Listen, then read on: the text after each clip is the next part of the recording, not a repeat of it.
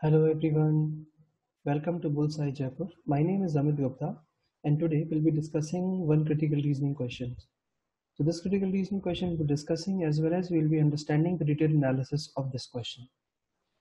Now this is an argument between two people. So one person said, I am not going to buy that brand of soda anymore. Other person asked, why not? Ravi says, I have noticed that I always get sick a few hours after drinking it. I'm not going to risk that again. So what we have identified here that one person, Ravi is making a claim. He says that he will not going to buy that brand of soda anymore. So this is the conclusion that he is trying to identify. So that is the, that's become conclusion. Now Vicky is asking for the premise, the reason. And Ravi says the reason is I have noticed that I always get sick a few hours of after drinking it and I'm not going to risk that again. That is why I will not go to, going to buy that brand of soda anymore. Now in this type of question, we need to understand that what is the assumption that he is keeping in mind. We have identified that he uh, he has decided that he'll not go, going to buy this type of soda, this brand of soda, because it makes him sick what is he assuming? That because of this soda only he is getting sick. So that's a causal pattern that he is thinking about. So that has a causal pattern. Now what the causal pattern talks about? So causal pattern says that only because of a only because of a b only because of A, B, B occurs, B happens.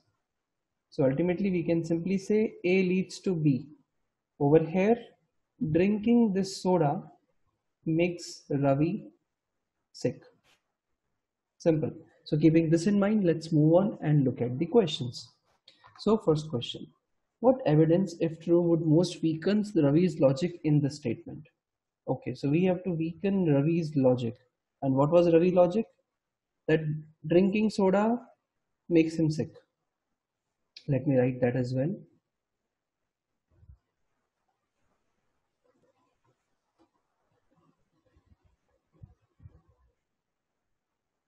Drinking soda makes Ravi sick.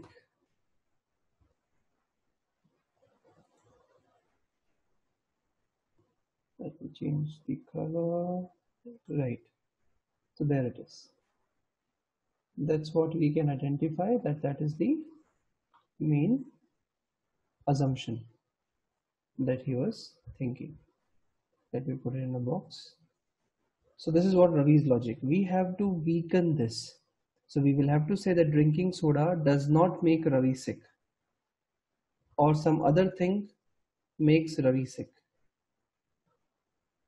Let's identify which answer choice talks about. A says Ravi is hypochondriac. Okay, so this is not talking about whether drinking soda makes him sick or not. Hence, this cannot be the answer. Eliminated B. Vicky does not fall sick after drinking that brand of soda.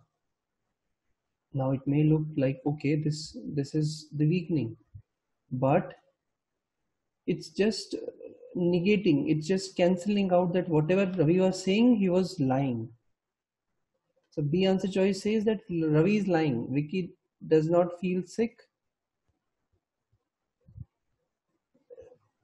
Vicky does not feel sick feel sick after drinking that brand of soda. So ravi is lying because it doesn't work for vicky. But we are talking about ravi here. So what works for Vicky or what does not works for Vicky, we do not have any idea about that. So we will not keep this as well. See, Ravi often drinks that soda while indulging in fried foods. Again, this is out. We cannot think of it whether he is getting sick because of this or not. Hence D. Ravi has been served that brand of soda at its head at his favorite restaurant for years without realizing that he was consuming it and has never felt sick afterwards. Now what this says that drinking soda is not making Ravi sick when he was not aware about it. So this looks good.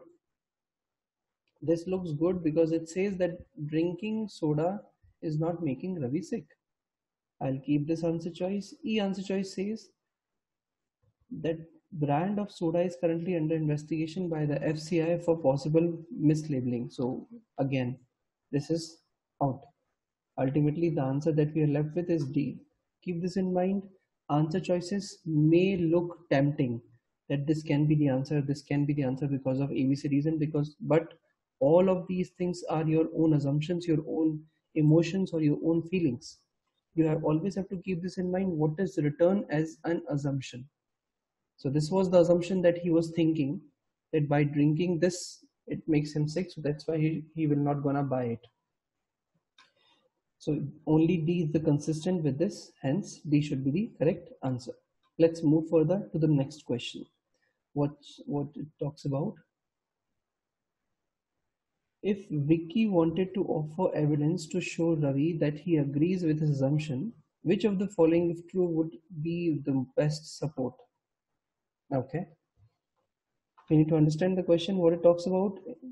We need to support Ravi's assumption okay and how they have made it? They have made it by Vicky's statement.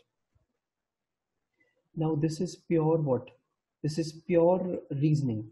Okay we need to clear we need to clarify this thing. This is pure reasoning. So keep this in mind. Let's let me just highlight it. There it is. What it talks about? Vicky wanted to offer evidence to show Ravi that he agrees with his assumption. Which of the following, if true, would be the best support? Means all of these choices would be out of scope. You will feel like, okay, no, we're talking about this, no, we're talking about this in the argument. That's fact. But keeping that assumption in our mind, what Ravi said, we have to come down to the answer. So he said, Ravi thinks, Ravi's logic was that drinking soda makes Ravi sick. Now Vicky should also say the same thing then only we can lead to the correct answer. Make sense? Otherwise, it cannot be the correct answer. I repeat, whatever Ravi was thinking, Vicky should also say in the same direction. Then only it will be the answer. Otherwise, it will not be answer. Otherwise, it's just a trap. A. You haven't bought that brand of soda lately.